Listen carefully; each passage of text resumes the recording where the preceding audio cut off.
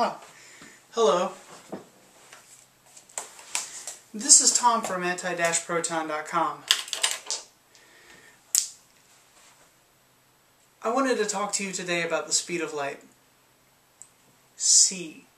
Letter C is usually used to uh, signify the speed of light in uh, science. the speed of light has been a cornerstone of physics for, what, a 100 years now?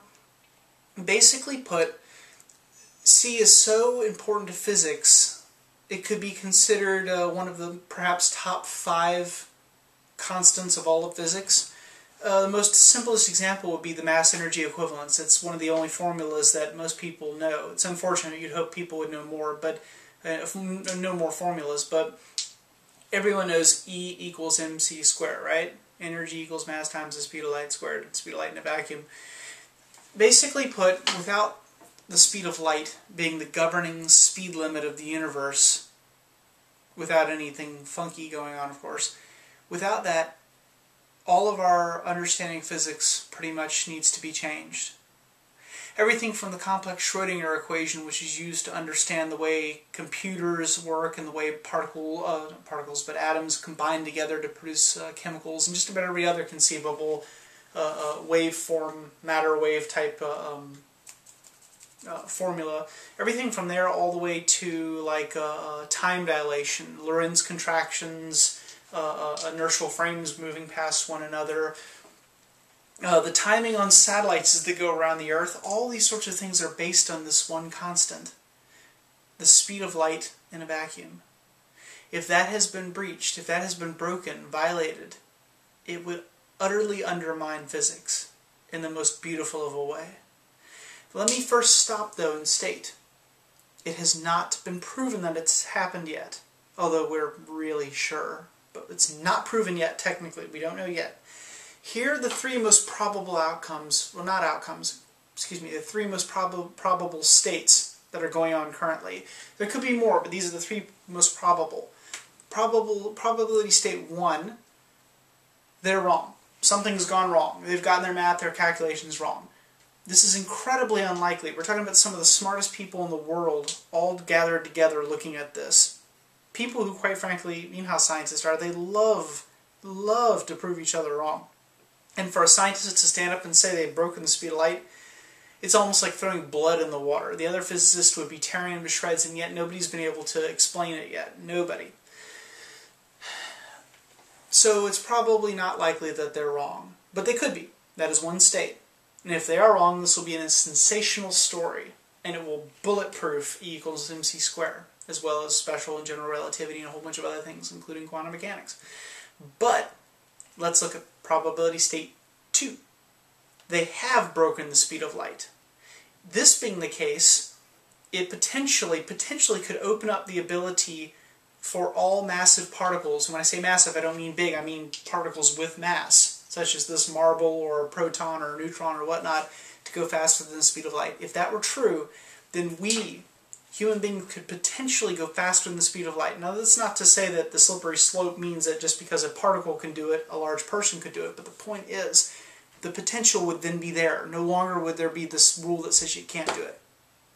You might be able to do it faster than light communications, the ability to send a space probe to another planet and instantaneously communicate with it even though it's billions of light years, well, billions of light years, billions of miles away, a couple light years away, you know, two or three parsec away or whatnot. These things all could come into reality. In fact, some weirder things could happen, such as causality loops. Cause could precede effect. The effect of this dropping could be known before I dropped it once that happens, the possibility of uh, paradoxes starts coming into effect. what if you developed a device that sent a signal back in time if something hit it? That signal goes back in time and activates a device that prevents it from being hit by something. Anyway, it's a little complicated. Um, the point of a causality loop, basically, the simplest way would be to say, what if you went back in time and killed your own grandfather? I think I was trying to speak more of a realistic, uh, practical application of that. But anyhow, um, if you could go back in time and kill your own grandfather, then you could not live and exist to go back in time to kill your own grandfather, which means that they would live, which means that you could then go back in time, which means that they wouldn't live, which means that you couldn't go back in time, which means they would live. It goes into a loop.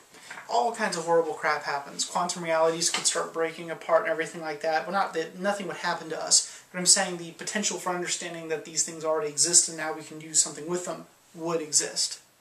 It's absolutely phenomenal. It's ridiculous. Probability state 3. It's true, but you can't go faster than the speed of light. Not directly, not like just going faster than the speed of light. But instead, there's a trick. Perhaps those pesky little neutrinos are finding some method of getting there. Perhaps they move in and out of our, uh, vibrate in and out of our dimension for some short period of time. It perhaps Perhaps they are fourth dimensional constructs that only seem to exist in our third dimensional reality. They are um, uh, um, uh, sort of like three dimensional manifolds or, or some degree like that. How do I put this? I'm trying to think of a way to explain this in a non scientific way. They might jump in and out of our reality, and in their reality, they might be going faster. How's that for a simple way to put it? Um, for you science folks, I'm talking about a, a, fourth dimensional object that's manifolding to a third dimensional object, and then in and out, and in and out, and in and out, and in and out, with uh, different uh, um, uh, uh diff different um, uh, inertial frames. For non-science people, I'm talking about like it disappears here and reappears here instantly. In this this time, this space was never traveled. The point being is if we have some kind of wormhole thing going on, or some kind of uh, uh, uh, jumping into another dimension, uh, any one of the uh, 11, 10 possible dimensions, depending on which theory you subscribe to. What that opens up for us, think Stargate. Maybe not really. Again, that's that's you know jumping to the science fiction method of it. The reality is, it'll probably be some dumb little particle we can send through a hole. But the point is, still, the ability to uh, uh, breach the speed of light may exist it may exist right then and there. Not directly, mind you, not like driving faster than the speed of light, but more like disappearing here and reappearing here faster than you could have gotten there through the speed of light. The um, simplest analogy that most people use is to take a piece of paper and say it takes X amount of time to go this distance. Let's say you can travel one inch per second. One, two, three, four, five. It would take you eight seconds to travel this paper at one inch per second. But if you can fold them and connect them, it's almost instantaneous. Yet for any stick figure living on the paper, they don't notice the fold. That kind of thing. I'm sure you've heard this quoted like a million, million times in science uh, channels and things. So anyhow, these are the three possible, the three most probable states that have occurred. They're just absolutely beautiful. If E equals mc squared has been broken, I mean it's horrible, we'll all go cry in a corner somewhere, but think about it. Think what it means. Think beyond for just a second. Just the amazing probabilities that could occur. Think now about the fundamentals of physics.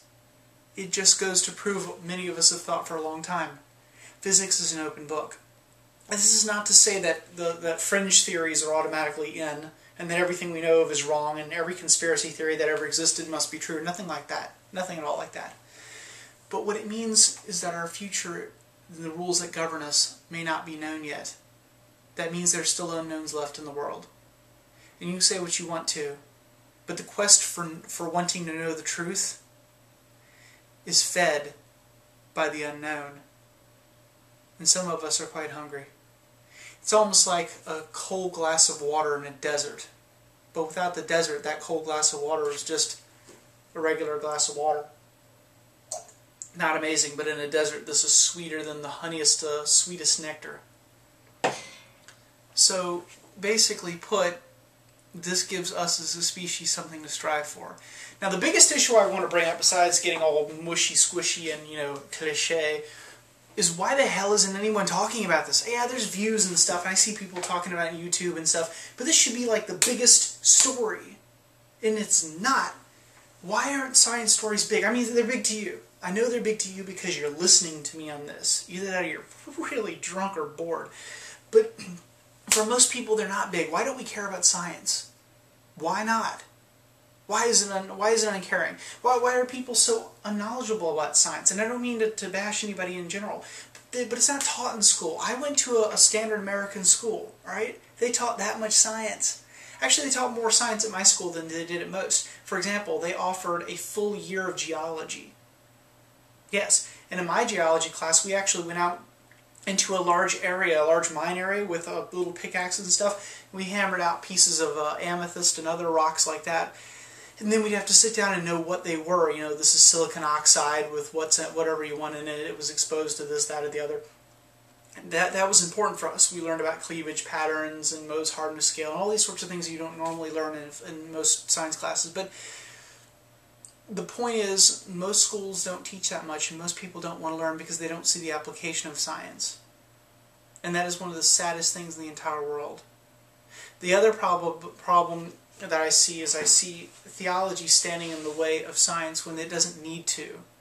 The concept that a scientist must be an atheist and that a, a, a, a religious person must completely steer away from it. That's another thing that annoys the hell out of me too. By the way, I'm not saying that these things are always the way they are. I'm just saying that these are some general trends I've noticed, which bothers me. You can be religious and scientific, and you can be a-religious and scientific as well. They're not exclusive of one another. Um, but regardless, that's kind of a little rant of mine over the annoyance that this isn't a prime st uh, uh, story. It's kind of like a neat little side story this should be the biggest thing out there because all that you're doing, people that are playing their video games on computers, watching World Wrestling, and all the other stuff that people do, all of that is contingent upon science. And this is one of the greatest rules of science being underdone. But anyhow, this has been Tom from anti-proton.com. Tell me what you think. And I just hope soon we find out. We have a satellite raining down upon us right this moment. We've had meltdowns this year. Every conceivable thing that you could imagine has happened in 2011. So, you know, wow.